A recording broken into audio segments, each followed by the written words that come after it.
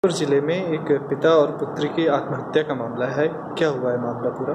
चांदपुर के सटगवा गाँव का मामला है, जहाँ पर रात में महीन पूरी नामक व्यक्ति है जो अपनी चार पाँच साल की बच्ची के साथ आत्महत्या कर लिया इसके बारे में जानकारी हुई है कि ये दो महीने पहले पत्नी की डेथ हो गई थी डिलीवरी के दौरान। उससे ये और साथ में रहते थे।